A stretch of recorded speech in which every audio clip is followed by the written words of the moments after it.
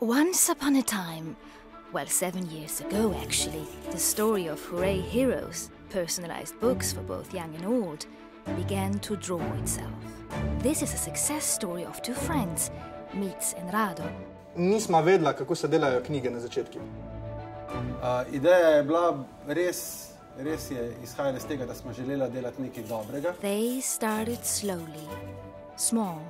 However, they had one mission to make people smile, and they wanted to reach the whole world.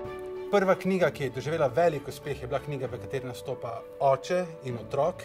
In ko se je po nekem srečnem naključju primla ravno za Father's Day, je bila prelomnica podjetja, ko smo začeli dobivati material, uh, videe, fotografije od naših uporabnikov.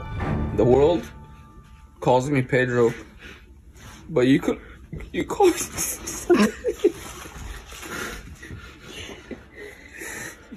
me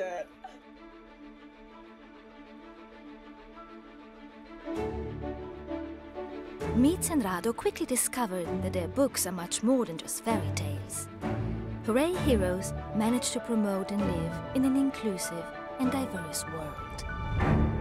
The pandemic started in early 2020, and their fairy tale was in danger of ending.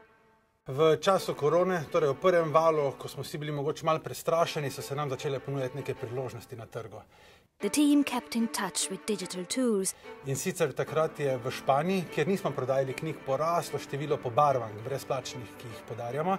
Šlo je število iz 50, mogoče na dan, na več milijonov v enem tednu.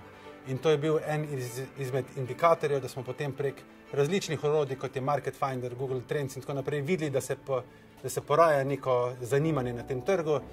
In logična rešitev je bila odpreti ta trg. Mi želimo ostati pri knjigah. Knjige so preživele vse, vse vojne, vse poplave. Torej, knjige bojo večno tu in ostajamo pri njih. and they live happily ever